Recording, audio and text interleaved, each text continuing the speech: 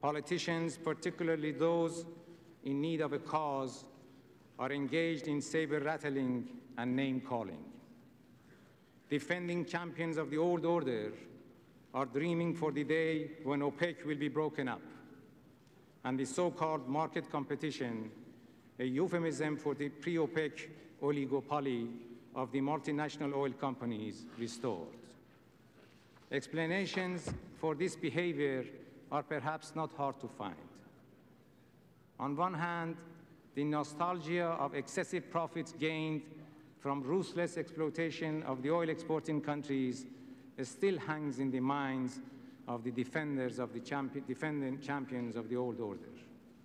On the other hand, prospect of similar successful actions by other developing countries to protect their vital national interest is too difficult to be accepted by industrialized countries.